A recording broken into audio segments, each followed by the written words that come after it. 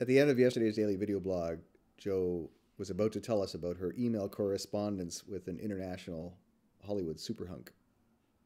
Yes, we correspond regularly. That's a lie. Alan's going to hit me. That's not a lie. so, my I must admit when I saw his name in my email basket, I thought that's pretty cool. you have to bleep me there. Anyway, I'm slightly starstruck. So, what he did say was he wishes Sparta every success. He wants to marry me. okay, wait.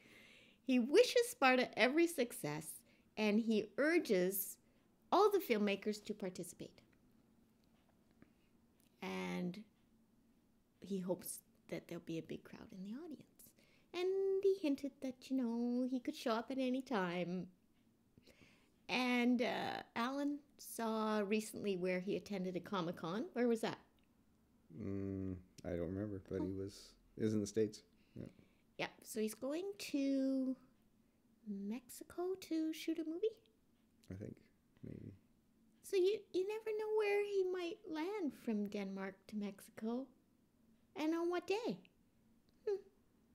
So February Family Day weekend, your chance to uh, compete for the 72 hour challenge trophy.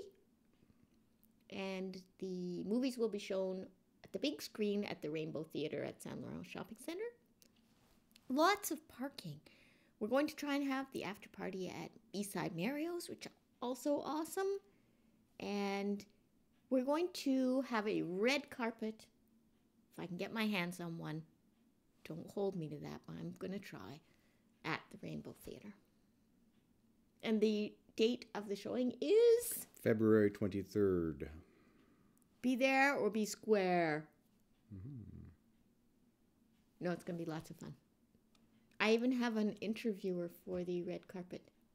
Oh, you do. Yes, I'm not telling you who it is. It's quite a local celebrity. Oh. That's all. Bye.